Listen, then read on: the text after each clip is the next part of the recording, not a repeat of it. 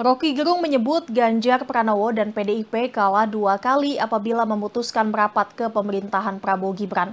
Hal itu diungkapkan Rocky Gerung usai menjadi pembicara di Universitas Katolik Widya Mandira atau Unwira Kupang, Nusa Tenggara Timur atau NTT pada Minggu 12 Mei lalu. Rocky Gerung menanggapi keputusan Ganjar Pranowo menjadi oposisi.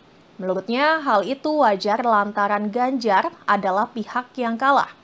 Menurutnya aneh jika pihak kalah ikut orang yang menang. Apabila itu terjadi kata Rocky, maka Ganjar ataupun PDIP maka kalah dua kali. Menurut Rocky, sikap Ganjar untuk menjadi oposisi juga merupakan kemenangan bagi PDIP.